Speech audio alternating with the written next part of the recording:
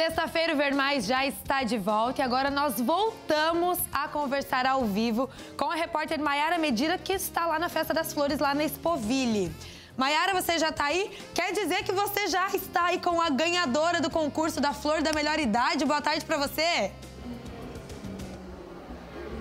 Maria, e conforme eu prometi, olha só, coisa mais fofa, Dona Erminda Hoffman, lá de Antônio Carlos, 82 anos, uma disposição de dar inveja, é a nossa flor da melhor idade desse ano. Dona Erminda, feliz, Dona Erminda? Muito feliz, estou muito feliz mesmo. As concorrentes da senhora eram boas também, né? É, sim, senhora. E eu vi que a senhora tinha uma torcida, veio muita gente hoje acompanhar a senhora aqui? Dona... Tinha, um grupo bonito, é, tinha. E essa orquídea aí, linda presente também, lindo presente também, né, dona Hermínia? Muito lindo, muito lindo. E conta pra gente rapidinho o segredo de se manter bonita e jovem assim, com essa animação toda. Ah, eu já tive, eu tenho 12 filhos, 11 vivos. Estão todos muito bem, sou muito feliz com eles, muita felicidade para os meus netinhos e para eles também. Principalmente aqui para vocês também, tá? Muito obrigada. Esse dia tão lindo, tão feliz que Deus me deu.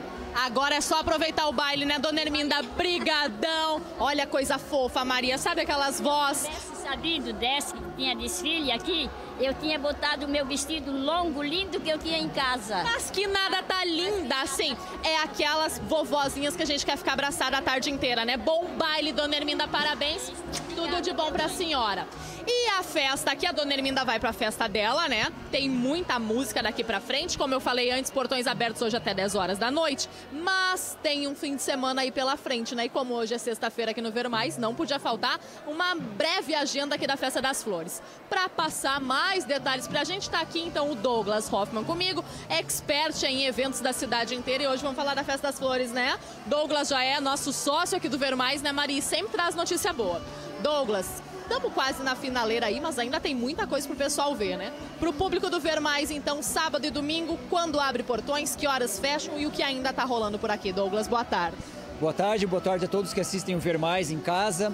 É, a Festa das Flores chegou na metade.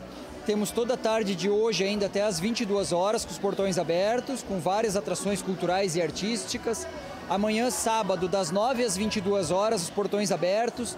O dia inteiro com exposição, mercado de plantas, feira de artesanato e atrações no palco cultural, é, atrações musicais durante todo o dia. No domingo, a festa abre às 9 e é, fecha às 21 horas. Porém, domingo às 19 horas, Mayara, temos então a escolha da corte da 80 Festa das Flores, é, rainha, primeira e segunda princesa. Domingo às 19 horas. Esperamos todos aqui na Expoville.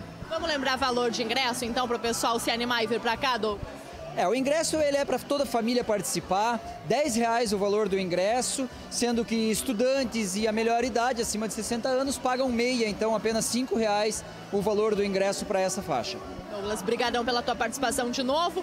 Maria, lembrando então que aqui na Festa das Flores São Pedro não interfere, né? Porque é sol, chuva, vento, qualquer coisa, tudo cobertinho, muita coisa bonita para ver, mais de 5 mil plantas, mercado das plantas, então como a gente falava no balanço geral, com plantas que custam de 10 a mil reais, aí vai depender do investimento e da vontade de cada um, um monte de atração, bandas aqui nos palcos o dia inteiro, um público super animado, hoje mais ainda, então ainda tem muita festa para toda a família ingressos, como o Douglas falou, num valor bem acessível. Então fica o convite para você, né, Maria, que eu sei que é de fora e vai dar uma passadinha aqui também. Fica o convite para todo mundo que está nos assistindo, porque esse ano tá valendo a pena.